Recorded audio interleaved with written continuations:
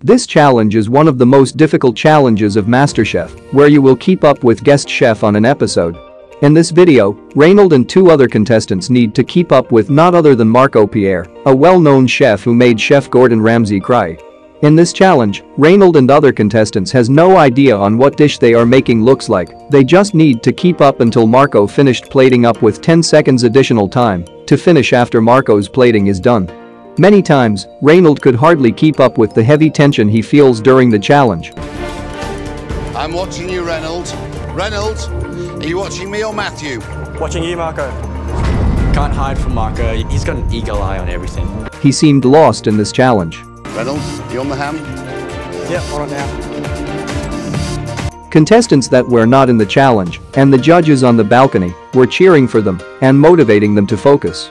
In the end, Reynold managed to do Marco Pierre's challenge and finished it successfully. Guys, let's go.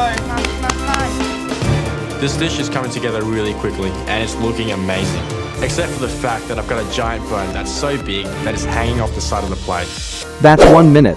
Don't forget to subscribe on this channel. Thank you for watching. Till next time. Subscribe.